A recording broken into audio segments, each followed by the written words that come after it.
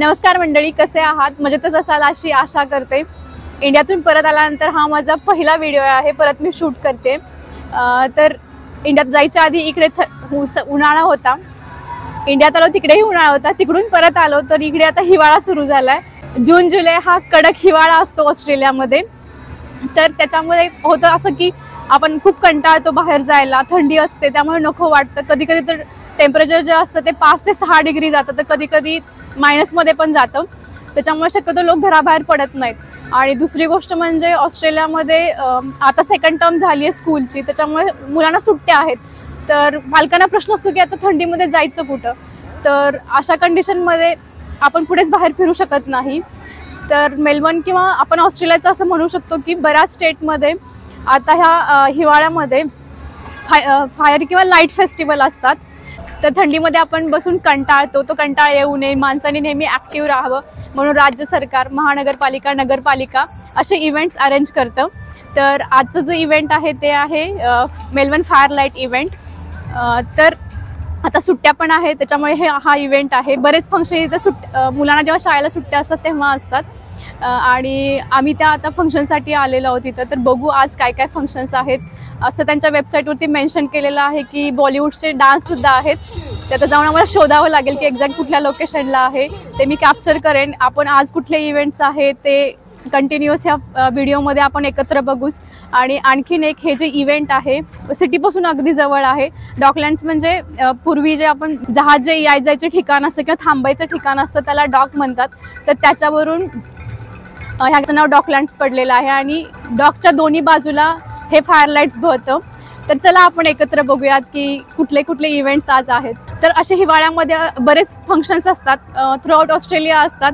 तर जिथे जिथं पॉसिबल आहे तिथं तिथं मी जाईन आणि ते कॅप्चर करण्याचा प्रयत्न करेन.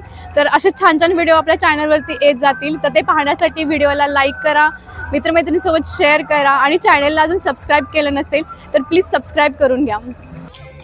गावी थंडीच्या दिवसामध्ये गल्लीत सगळे जमायचे आणि शेकोटी करून त्याच्या अवतीभोवती गप्पा मारायचे. आपल्याला अशा फंक्शनची गरज नसायची. पण इथे एकंदरीत त्या लेवलचं सोशल कल्चर नसल्यामुळे अशा फंक्शनशिवाय पर्याय नाही. चालायचं ज्या त्या देशाप्रमाणे जसं तसं. आज दिवसभर खूप पाऊस होता. त्यामुळे म्हणावी तेवढी गर्दी नाही आहे आज या फंक्शनसाठी ह्या सुंदर अशा आकर्षक कमानीमधून आतमध्ये गेल्यावर जागोजागी असे फायर शो सुरू होते. फायर आर्टिस्ट म्हणजे साध्या सोप्या भाषेत अगीसोबत खेळणारे कलाकार अर्थात मौत के खिलाडी लहान मुलांना असे वेगवेगळे खेळ खेळून दाखवत होते. हिंदीमध्ये आपण ऐकलं आहे आग से मत खेलो पण ह्या कलाकारांना त्याच्याशिवाय पर्याय नाही.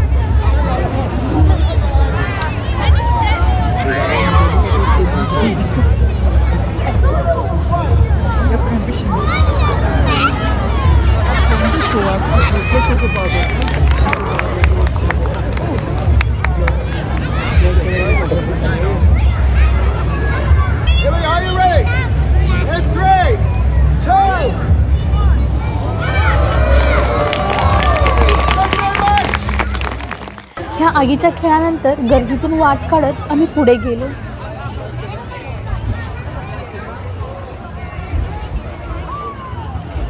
खूप सुंदर अशी गाणी सुरू vera.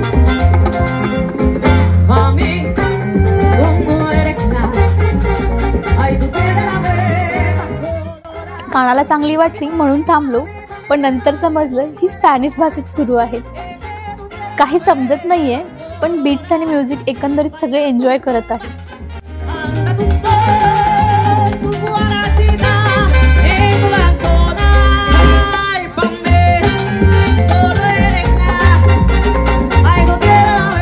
काहींनी गाण्याच्या सुरावरती ताल धरला आहे तर कुणी कुणी तर बॉल डान्स पण करत आहे. एकंदरीत माहोल खूप सुंदर आहे. जसं मी आधी सांगितलं तसं हे फंक्शन डॉगच्या दोन्ही बाजूला असतं. आणि मधोमध पाणी आहे. त्यामुळे मला इथून फिरताना टू व्हीलरची आठवण झाली. जर भारतात रात्री टू व्हीलरवरून जात असाल आणि थंडी खूप वाजायला लागली तर आपल्या तोंडून नकळं निघून जातं. नदीजवळ आली तसंच काहीतरी आम्हाला आज फील होत आहे. इथले व्हॉलेंटियर्स अधेमध्ये असे लाकडाचे क्यूब टाकून त्यांचं काम चोखपणे पार पाडत आहेत. ही आग पाहिली आणि होळीची आठवण झाली. कारण अशा आगीमध्ये हरभरा खोबरं भाजून खायचो.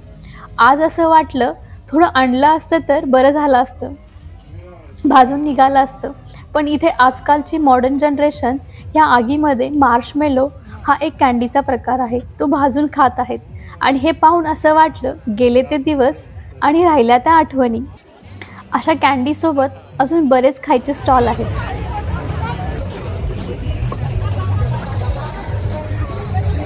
काही गोष्टी आवर्जून नमूद कराव्याशा वाटतात त्या म्हणजे अगदी बेसिक गरजांमधल्या पिण्याचं पाणी टॉयलेटची उत्तम सोय आणि फर्स्ट एड मेडिकल हेल्थ ह्या गोष्टी प्रत्येक इव्हेंट आणि फंक्शनमध्ये असतातच असतात. ही गोष्ट खरं तर आपल्याला शिकण्यासारखी आहे. बघता बघता मागचा एक तास कसा संपला समजलंच नाही. आता आमचे पाय डॉकच्या दुसऱ्या बाजूला वळू लागले आहे आणि कानावर पडले ते हिंदी गाण्यांचे बोल. हिंदी गाण्यांचे बोल ऐकताच आम्ही दोघांनी एकमेकांकडे पाहिलं खुश झालो आणि त्या लोकेशनच्या शोधात आम्ही त्या जोगी पोहोचलो. इथे एक डान्स अकॅडमी अगदी फनी पद्धतीने लोकांना खास करून छोट्या मुलांसाठी स्टेप सांगत आहेत आणि त्या त्यांच्याकडून प्रॅक्टिस करून घेत आहेत. आणि या सगळ्याला लहान मुलं खूप उत्स्फूर्तीने प्रतिसाद देत आहेत. We're gonna raise that up in the air and then back down. And then we're gonna go cow side, Marvel Stadium side, up in the air and back down. Super easy. So get a nice stretch along this side. One, two, three, four. One, two, three, four. And to make sure that while you're getting space on this side, you're still keeping the space on the other side, dramatically stretch out your arm. Just with Bollywood dancing, just make it very over the top. Okay? Everything's lots of drama. Just pretend there are cameras on you at all times. In reality, there really are. There are cameras. All right. So five, six, seven, and one, two, one, two. You can even lift the opposite leg too. Very good. Let's do that with the music. Are you ready? Here we go. Six, seven, and one, two.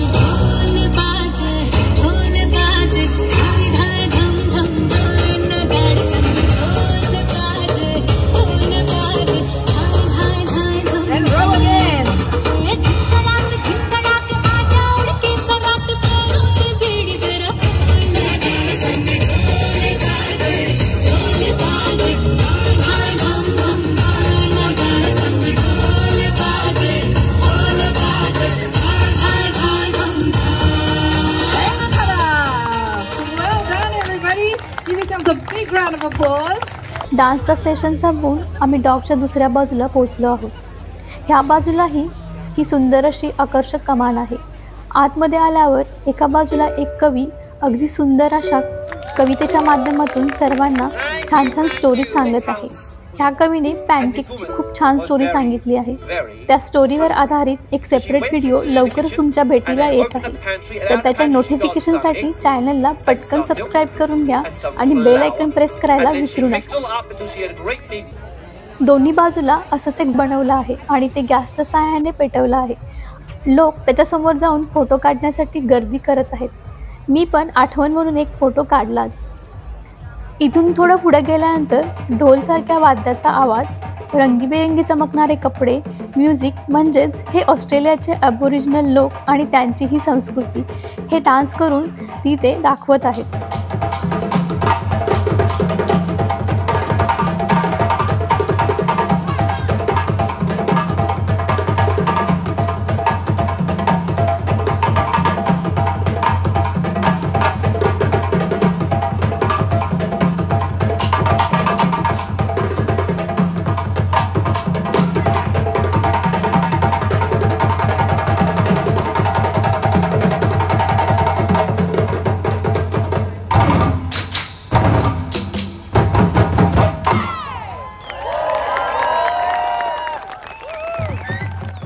डॉकच्या मधोमध private yacht म्हणजेच खाजगी जहाज इथे park केले जातात. ह्या गर्दीतून चालत आम्ही आता पोचलो आहोत लायब्ररीजवळ आवर्जून सांगायचं म्हणजे ह्या लायब्ररीमध्ये मराठी हिंदी भाषेची पुस्तकंसुद्धा मिळतात. लायब्ररीच्या मागच्या बाजूला म्युझिकचा आवाज आला म्हणून आम्ही मागे पाहिलं तर इथे गाणी सुरू होती. आणि मेन म्हणजे हा जो बँड आहे हा रशिया आणि युक्रेनचा बँड आहे. तिकडे या देशांमध्ये युद्ध सुरू आहे आणि इकडे फ्रेंडशिपचं उदाहरण म्हणजे हा बँड स्वतः एन्जॉय करत आहेत आणि लोकांनाही एंटरटेन करत आहेत. आणि हा डॉगच्या दुसऱ्या बाजूचा आणि शेवटचा स्पॉट होता.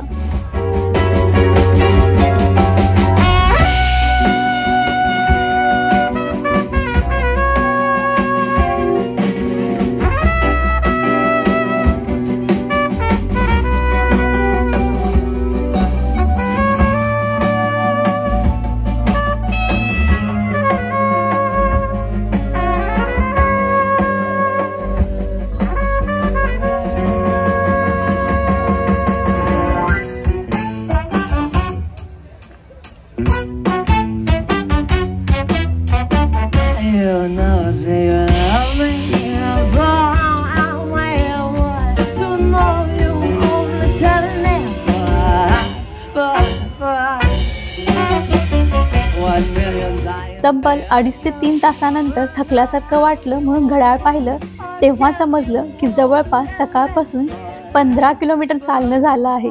आज इव्हेंटमुळे सिटीमधलं पब्लिक ट्रान्सपोर्ट बंद असल्यामुळे आज सिटी अकरा नंबरच्या गाडीने म्हणजेच स्वतःच्या पायानेच फिरावी लागली. अशा पद्धतीने आज इथेच थांबते. आजचं फंक्शन कसं वाटलं ते कमेंट बॉक्समध्ये नक्की कळवा. नेहमीप्रमाणे व्हिडिओ पाहिल्याबद्दल मंडळ आभारी आहे. लवकरच भेटू नवीन व्हिडिओमध्ये. तोपर्यंत tata bye bye and take care